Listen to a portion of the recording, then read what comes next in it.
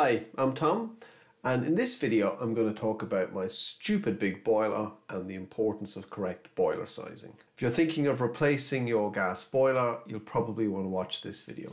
I had a brand new heating system installed back in 2021, back before I knew anything about heating, and aside from heating the existing house, we knew we wanted to do an extension, so we asked our plumber to factor that in when he was designing the system. The plumber recommended a 30 kilowatt boiler and told us that we'd have plenty heat, plenty hot water, and it would easily deal with uh, any extensions or any changes to the size of the house. In the end, he actually installed a 35 kilowatt boiler, which I didn't discover until a couple of months ago. Now, what I didn't realize at the time was that 35 kilowatts was an insane amount of heat. It's absolutely absurd uh, for a four bedroom house. I've learned that when you install a heating system that's bigger than your requirements, it's called oversizing. Oversizing, as I've learned, is bad for two reasons. Firstly, you're paying for a much more powerful piece of hardware that uh, it's going to emit more power than you'll actually use. And it's kind of like buying an Aston Martin to do the one mile school run. Uh, secondly, in addition to the much higher maximum power, you end up having a much higher minimum power. And let me explain what that means. Modern gas boilers can do something called modulation, and that's where they can adjust their output uh, based on the demands. Modulation is very important as it provides maximum efficiency and maximum performance from your boiler. For example, my boiler can go from 35 kilowatts at its maximum output all the way down to about 5 kilowatts at its minimum output. But before I look at the 5 kilowatt output figure, I want to focus on the 35 kilowatt output figure. So to give you a sense of how absolutely ridiculous 35 kilowatts is for a house of my size, I thought it would be interesting to do some some sort of silly scenarios and just look at that figure of 35 kilowatts and put it into some better context. For the sticklers amongst you, I have to point out that uh, what I'm speaking about here is a system boiler and I have a separate hot water tank. The sizing of a combi boiler is very, very different because that's heating water instantaneously. So they're typically a lot larger than they need to be, and that depends on how much water you need, uh, hot water you need at any particular time. So, with those caveats out of the way, uh, let's take a look at my house as it currently stands. I've added quite a bit of insulation to my house over the past couple of years. So when it's minus 3 degrees outside, my boiler only needs to put in about 7 kilowatts to keep the house at a cozy 20 degrees. That's a heat loss figure of around 300 watts per degree of difference. My 35 kilowatt beast of a boiler won't even break a sweat providing 7 kilowatts because that's about 20% of its maximum output. That means that if it was running at 100% of its capacity, all 35 kilowatts, it could heat five houses the same size as this one. Five. Five houses. My boiler is big enough to heat five houses. But let's take that ridiculousness uh, a little further. There are about 70 houses on my street so if we imagine each house on my street has a boiler similar size, that would give us a total maximum output of 2.5 megawatts of heat. Megawatts of heat. That's enough to heat 350 houses that are the same size as this one. If we put that another way, we would only need 14 boilers of that size to provide all the heat for every house on this street. That's absolute madness. So let's go back to my house and we've already seen that when it's minus 3 outside I only need 7 kilowatts to keep the house at 20 degrees inside.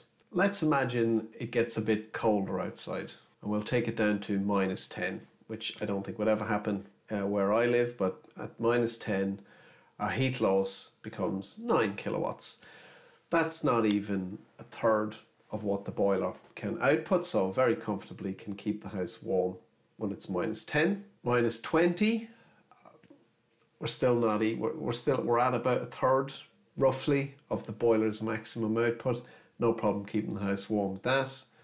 Let's take it a bit further.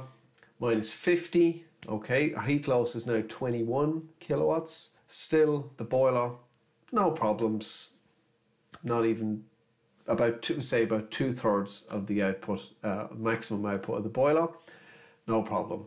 In fact, the boiler is so powerful that the temperature outside would need to get down to minus 95 before the boiler would actually be at its maximum. Minus 95. Now, I think that's day after tomorrow temperatures. It's like bananas. It's never going to happen at minus 95.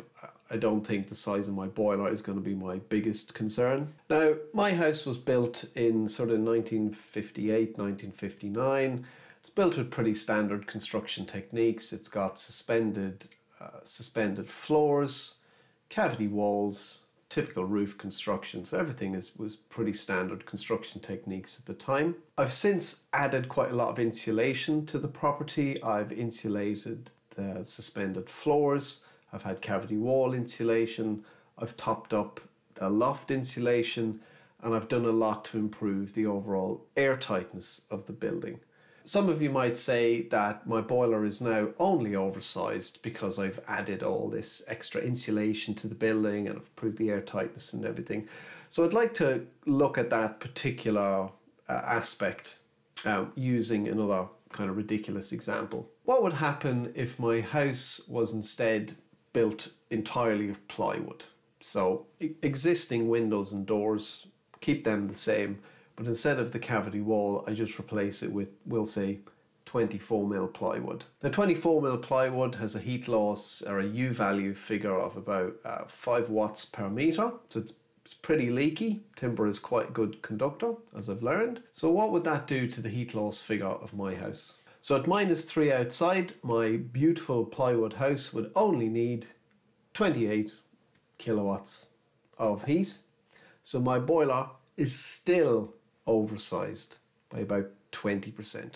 So if I went in the opposite direction and I used 100 ml of solid PIR instead of the plywood, my heat loss would only be 3 kilowatts and my boiler would then only be 10 times too big to heat the house. Now obviously these numbers aren't the most rigorous application you'll have seen of heat loss but they do serve to highlight just how ridiculously absurd 35 kilowatts of heat is for a house of this size. So let's now go back to that 5 kilowatt figure I mentioned earlier and talk about how important modulation is. Modern modulating boilers can alter their output between a maximum value and a minimum value. Now that's typically expressed in a percentage, so you've got 100% at one end and then a minimum uh, percentage at the other end. So in the case of my boiler, at 100% we've got 35 kilowatts and at the lower end it's about 15% so that works out roughly at about 5 kilowatts. So as you saw in the earlier slides the colder it is the more heat we need to put into the house to maintain it at its temperature but the opposite is also true so the warmer it is outside the less heat we need to put in to maintain the temperature inside the house.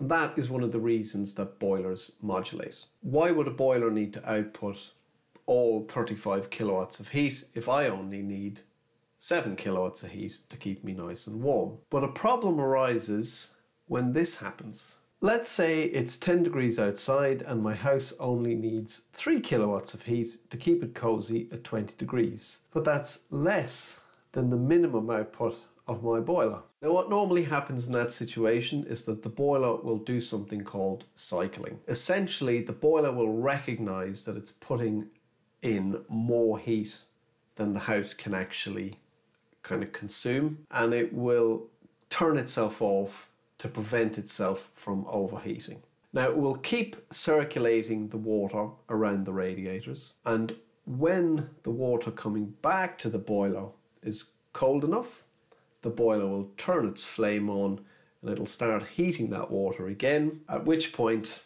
after a little period of time it'll decide that it's putting out too much heat and it will turn itself off. One of the main problems with cycling is that when the boiler restarts, it'll typically ramp itself up to its maximum power and then it will kind of figure out what's happening as the water starts to return and then it will begin to modulate back down. So you'll have this you'll have this kind of cycle where it's going from maximum maximum power, then it will modulate down, then it will turn itself off.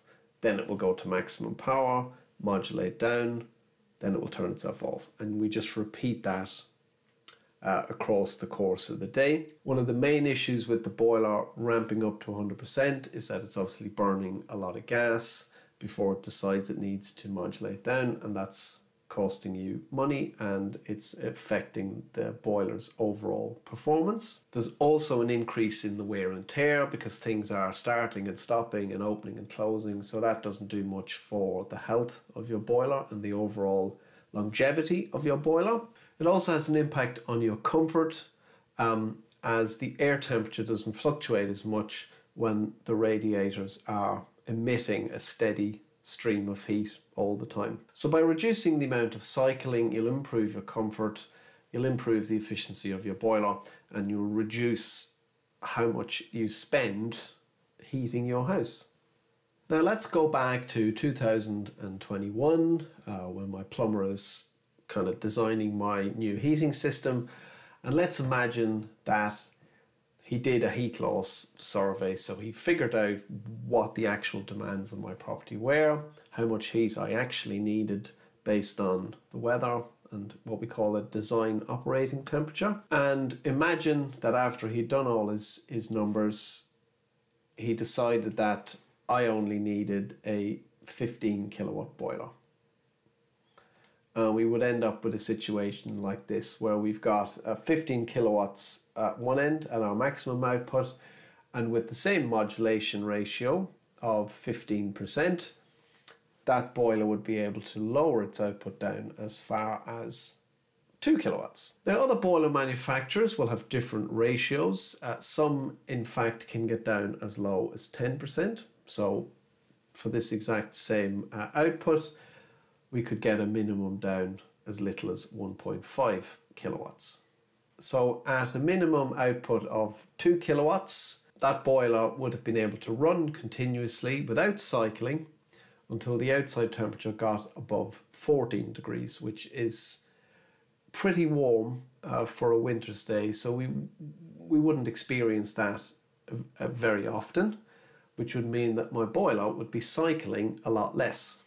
Now I mentioned the term heat loss uh, a couple of times during this video. So if you are doing anything in terms of getting a new boiler or upgrading a heating system, a, a proper heat loss survey is really, really important because it will give the installer an idea of how much heat your house actually needs to keep you warm and that will mean that they can choose a boiler that's more appropriately sized so you will you won't suffer from uh, too much power and you'll also benefit from that modulation range. So you'll be much more comfortable. You'll spend less money both purchasing the, the boiler and running the boiler over the long term.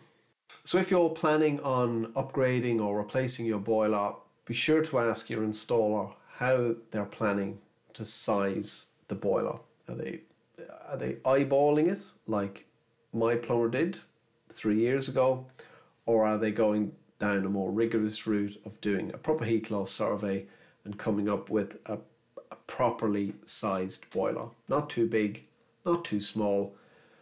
Uh, in my opinion, having a a, pro- a properly sized boiler will just save you money and just keep you more comfortable in the long run. If, like me, you already have an oversized boiler, there are some things you can do to try to mitigate the fact that it's way too big.